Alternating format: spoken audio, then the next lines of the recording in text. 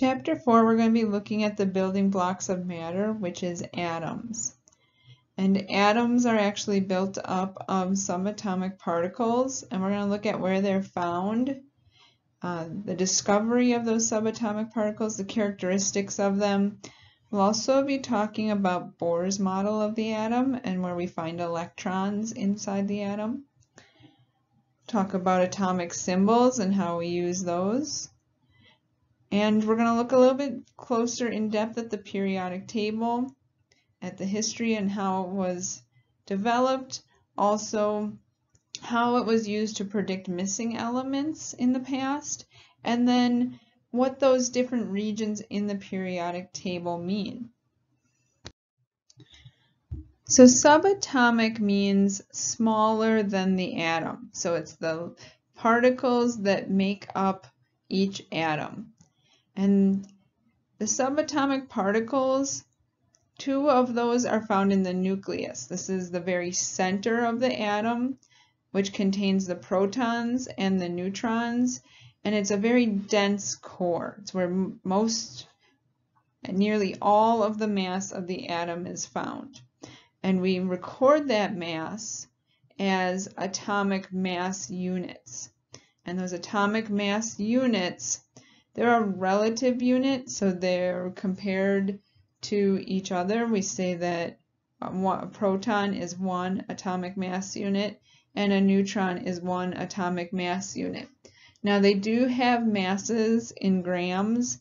They're just very, very tiny and it's more reasonable to talk about them as atomic mass units.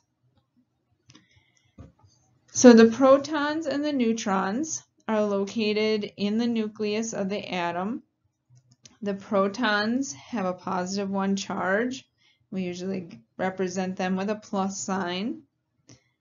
And that helps to tell us what type of element that atom is. If we change the number of protons, we change the type of element that it is. And again, we have the actual mass in grams but it's much easier to refer to it as one atomic mass unit. Now neutrons, they have no charge, they're neutral. They also have one atomic mass unit um, for their mass. They're located in the nucleus. They have no charge, so we usually represent them with a zero or a blank sphere in the nucleus. And electrons, they occupy the empty space around the nucleus. So they're found in the orbitals. They are much have much less mass than the protons or the neutrons. And so we typically say that they have no mass. It's not significant compared to the protons and neutrons. Electrons are a negative one charge and we represent them with a minus sign. The size that we draw electrons are is much smaller than the protons or the neutrons. So let's start with electrons. We said they're negatively charged particles. They're found in the orbitals, so in the empty space that surrounds the nucleus, and they have essentially no mass. So they're represented by the green spheres orbiting our nucleus. They were discovered by J.J. Thomson back in 1897. He was doing an experiment. If you've ever seen an old um, tube TV, the ones that are really thick, essentially he was using an old tube TV, but this is before they used this technology in TVs, but it's a cathode ray tube.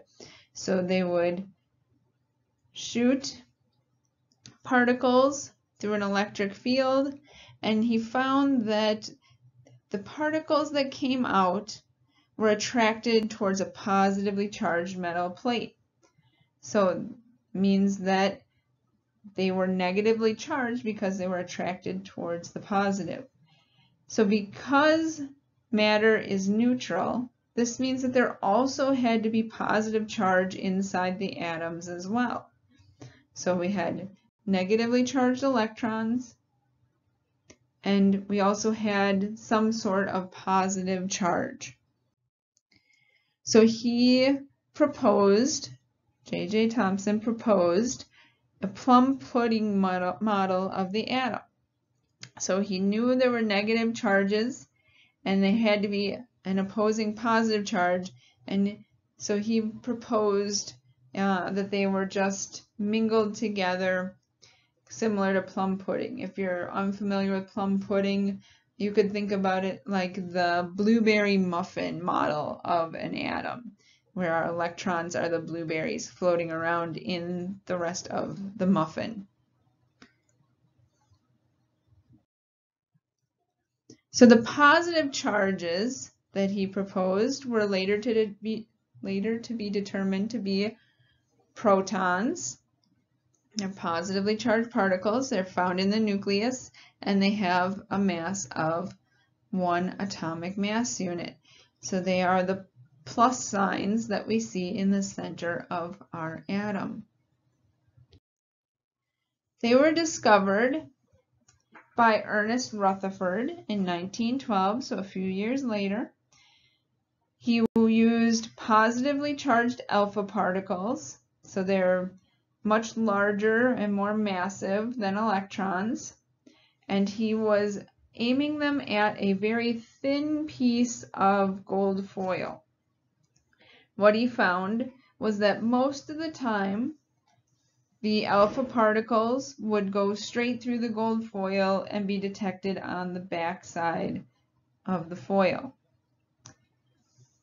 Sometimes they would be diverted a little bit through the gold foil, and sometimes they would bounce straight back at the source. And so what this means is that when they went straight through, it means that the atom is mostly empty space. When they glanced off, it said that it means that the nucleus is positively charged and there it's repelling those positive alpha particles. And when it comes straight back at the source, that means that it came very close to the nucleus and it bounced off the nucleus and reflected back, meaning that most of the mass is in the very center part of our atoms.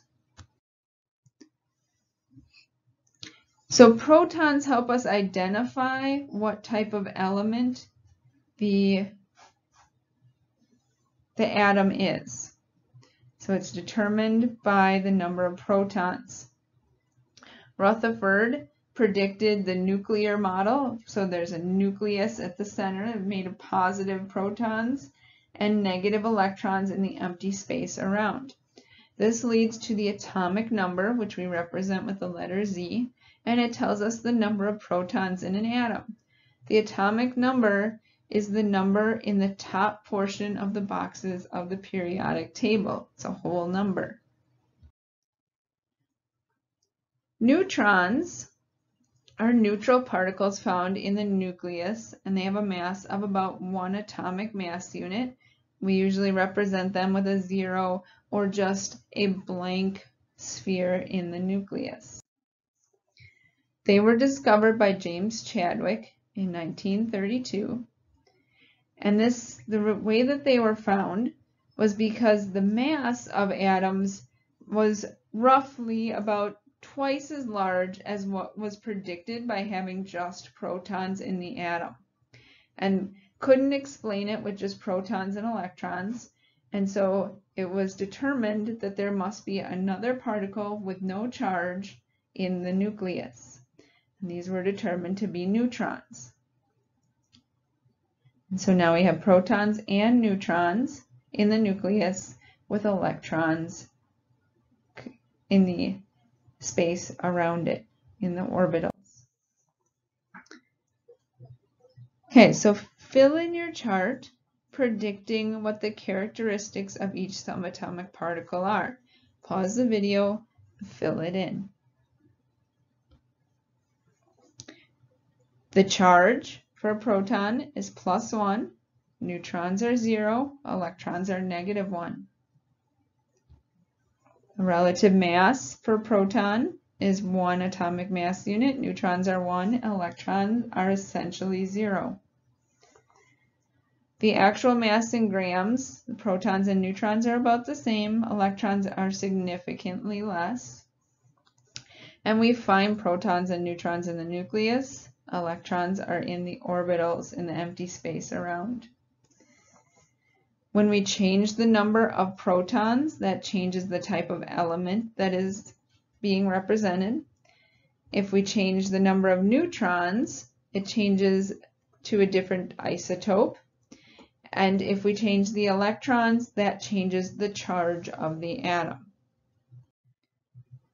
So just to put things in perspective, atoms have a diameter of about 1 times 10 to the negative 10th meters. This is about 0.1 nanometers. We also refer to it as an angstrom. And the nucleus is significantly smaller than that, about 1 times 10 to the negative 15 meters, or a femtometer.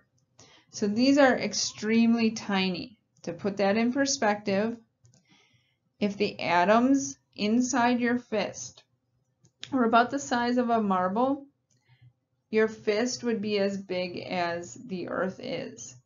And even though the, your fist is that big, you still would not be able to see the nucleus of the atom or the electrons with your naked eye, even when your fist is as large as the earth.